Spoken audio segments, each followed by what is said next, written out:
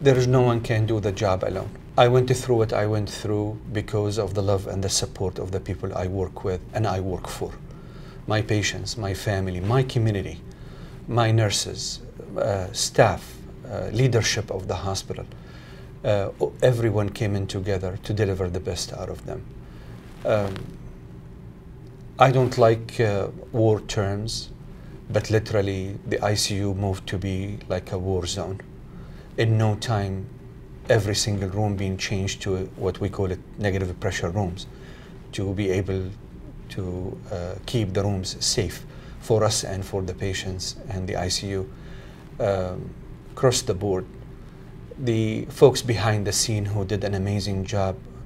I'm not. I don't want to forget anyone, but I would love to really uh, recognize the amazing work our engineering department did, helping us securing a beds and rooms to manage the patients. There is no question that across the board, from the janitors to highest level in the uh, organization as a leadership, everyone gave the best he and she, uh, doing all what we can to support each other.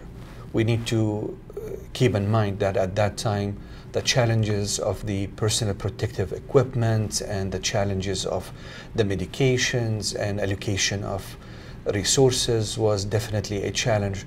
And I'm not here, I'm not going to say this just like, you know, for showing off about our hospital, but from our meetings with the Department of Public Health earlier in this pandemic, our hospital and our plan of action uh, for the pandemic was really robust type of a plan the, the command center, the leadership of the hospital, uh, allocating our resources appropriately, support of our community, uh, across the board, you know, one team functioning together.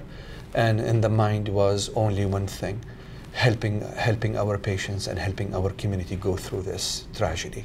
I call it the love at the in the time of Corona, where the people came in together, supporting each other. Uh, everybody was asking how you doing?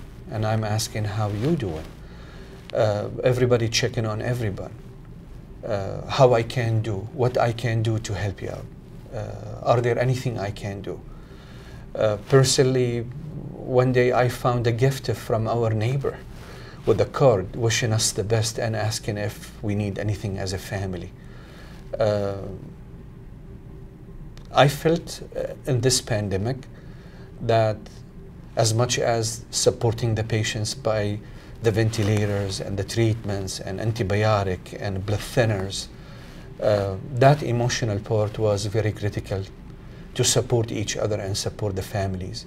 The amount of the love pouring towards us in the hospital in general from our community, people we don't know, they were sending us cards, posters, food, it's just a way to express how much this community care for each other as one.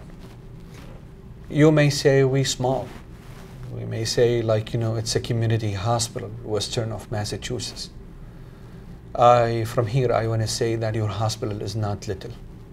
Your hospital is big by the community, by the people working in it. One of our strengths is the quality of the people working in this place, the kind of a community we serve and again, we are from the community to the community.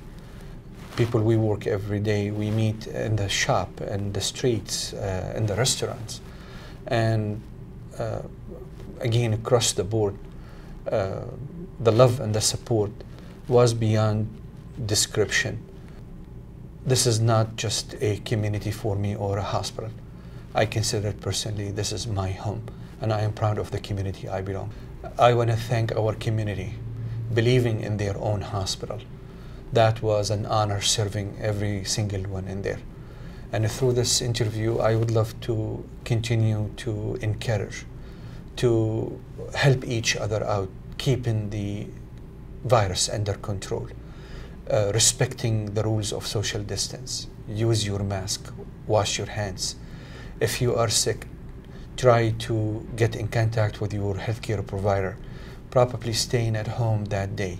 I know all of us, we are going through the challenges of the job, the schools, the work, the, the kind of a different life we have right now. we can go through this together and we can beat this together.